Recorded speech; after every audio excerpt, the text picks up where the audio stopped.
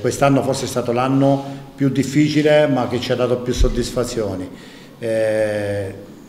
saremmo felicissimi di arrivare a un traguardo importante, però la cosa più importante è continuare a fare dei campionati importanti e far divertire le persone, essere corretti, mantenere sempre l'educazione giusta dovunque andiamo e quello è il messaggio che Pineto Calcio dà ogni anno. È chiaro che l'obiettivo che abbiamo raggiunto è un obiettivo per me incredibile, perché vista la situazione, vista come si erano poste le, le, le nostre problematiche all'inizio dell'anno con i 46 giorni di Covid, il fatto che, ne, che, molti non credevano che il Pineto potesse raggiungere certi obiettivi, quella forse ci ha dato quella forza in più per arrivare e per fare quel miracolo che abbiamo fatto. Quest'anno abbiamo cercato di rimettere, di mantenere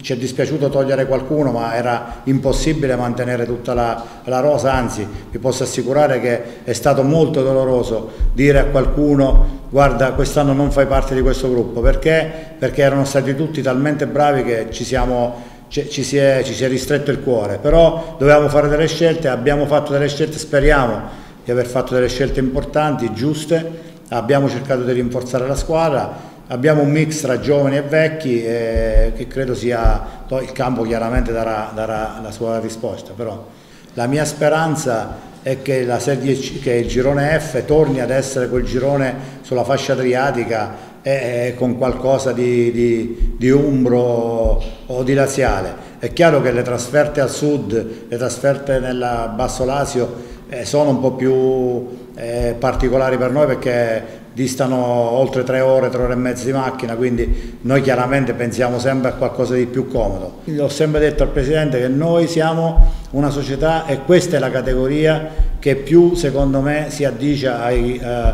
al Pineto e alla città di Pineto. È chiaro che non ci tireremo indietro se dovesse succedere qualcosa oltre, è chiaro che si aspetta la riforma per poter, per poter posizionare una squadra di queste dimensioni in quel campionato ecco, la Did Elite che, che, il nostro Presidente vorrebbe, vorrebbe, tanto, eh, eh, vorrebbe tanto partecipare a questa categoria.